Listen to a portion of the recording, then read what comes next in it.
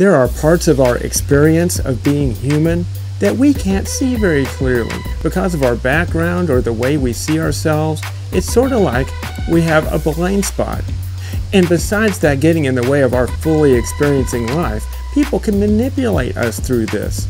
It's much better if we can have a night vision so that we can see through the blind spot. The way to do that is getting to know yourself. Heath MD here, psychoanalyst for Freudalicious Mind. Get to know your unconscious and find yourself.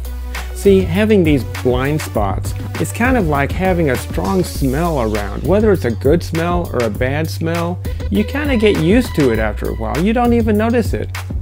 Until someone comes to visit, and man, they can notice.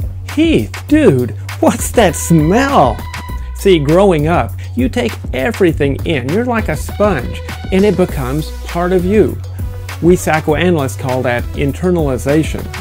But then, as a grown up, how do we figure out who we are and where we came from? Sometimes we can figure it out sort of like that we're a big puzzle with a bunch of puzzle pieces that all fit together. So, what if your parents treated everyone kind and fair? You kind of pick up on that and learn to do that yourself.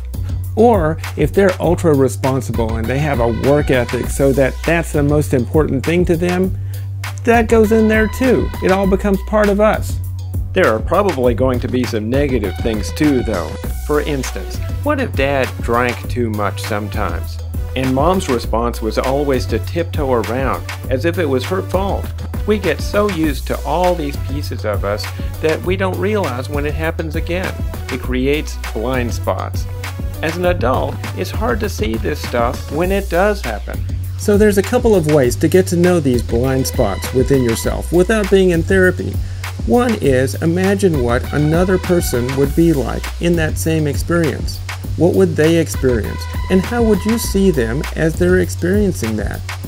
But the other is pay attention to your feelings. They tell you what's going on. So if something feels bad all the time, think about making a change.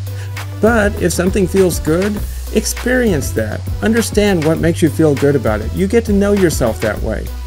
We're out of time for today though. Help me keep these videos advertisement free. Click on the link and contribute to my crowdfunding campaign. Every little bit helps.